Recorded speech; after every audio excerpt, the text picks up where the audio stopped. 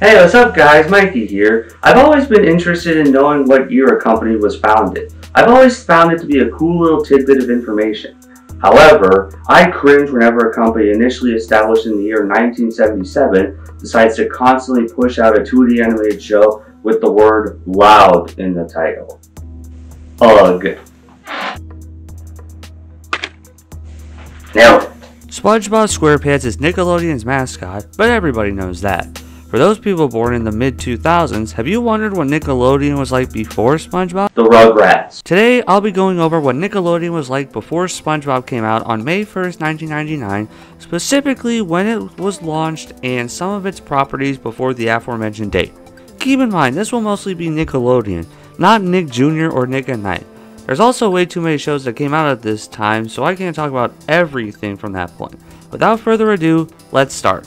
Nickelodeon was first tested on December 1, 1977, when Warner Cable Communications launched Qbit, the first two way major market interactive cable TV system launched in Columbus, Ohio. It was originally called Pinwheel Network and carried a TV show called Pinwheel. On April 1, 1979, Nickelodeon officially launched, initially distributed to Warner Cable across the country, and launched as the first ever all children's network. The name Nickelodeon was proposed by Joseph Iozzi, a creative director and creative designer from New York. He saw the word as a natural fit for this proposed children's channel. These days, it feels like all Nickelodeon airs is SpongeBob and this, but back then there was so much more variety with their programs. There were game shows, drama series, variety programs, sketch comedy, sitcoms, scurvy, everything except guts and gore in order to maintain its children's channel status. Variety shows were a majority of what aired during the 80s, and there's way too many to mention here.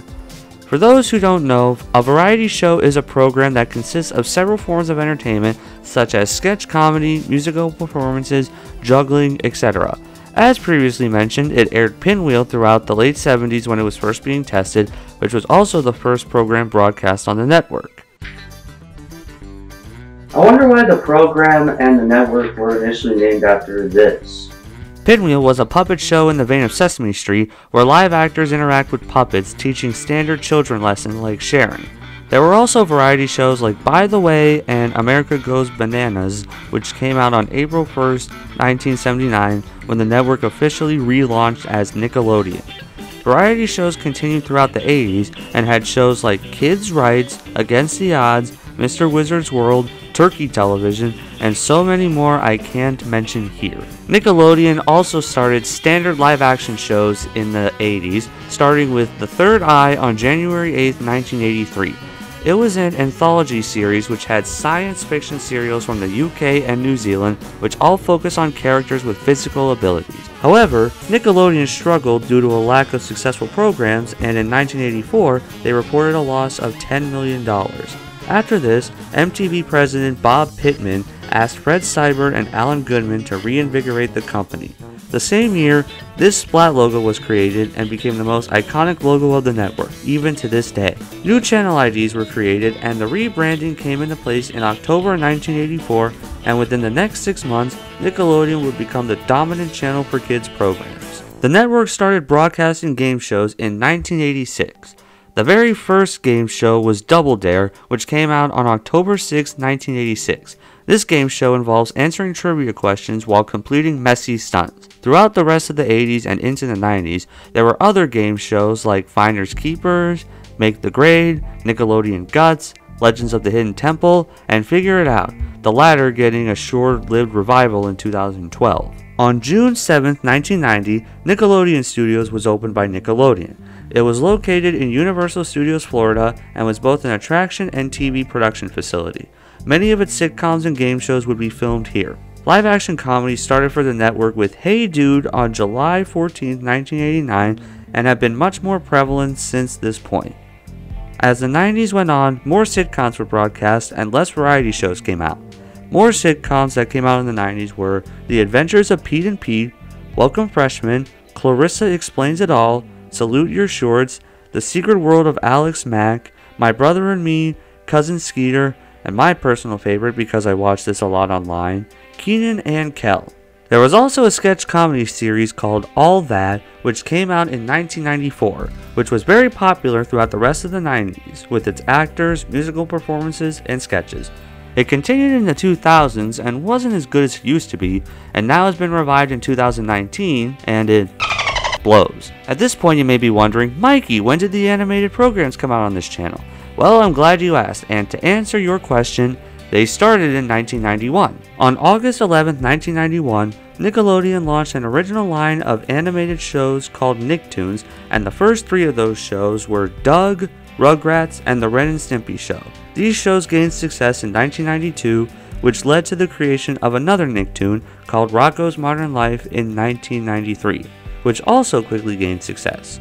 The Nicktoons continued with Ah, Real Monsters, Hey Arnold, Kablam, The Angry Beavers, Cat Dog, and The Wild Thornberrys. There was also Oh Yeah Cartoons, an animation showcase that allowed cartoonists to create a series of 7 minute cartoon shorts which ran from 1998 to 2001.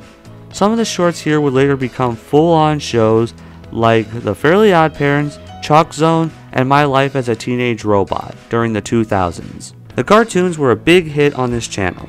Out of the Nicktoons at this time, Rugrats and Hey Arnold were the only two that remained on air from the 90s until the 2000s. Both ran until 2004, but the Rugrats aired longer from August 11, 1991 to August 1, 2004, almost exactly 13 years, and was the longest lasting Nicktoon until SpongeBob ran for over 13 years before the end of 2012. The Rugrats ran for 9 seasons and 3 theatrical movies and was the most popular Nicktoon for a long time. Even to this day, the cartoons are a bigger hit on the channel.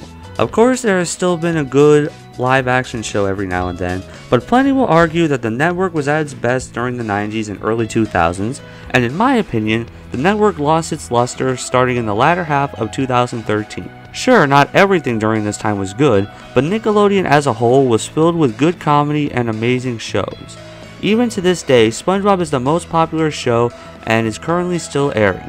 Despite this, there has been talk about reboots of older Nickelodeon programs.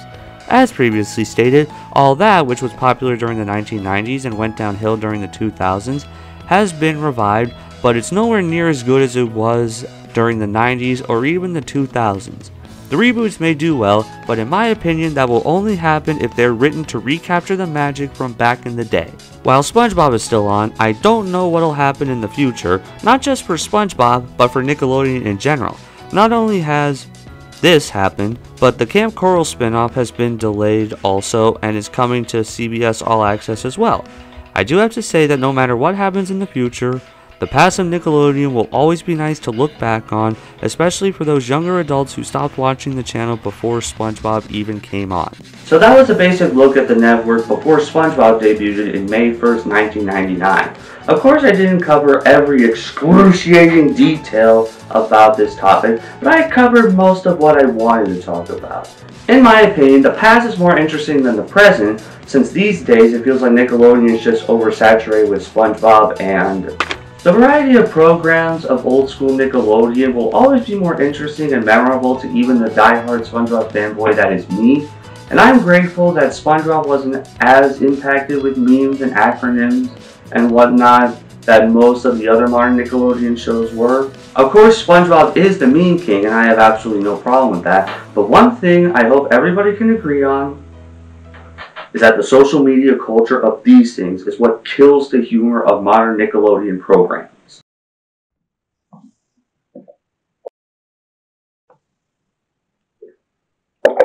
You deserve this. Man, I'm good at this.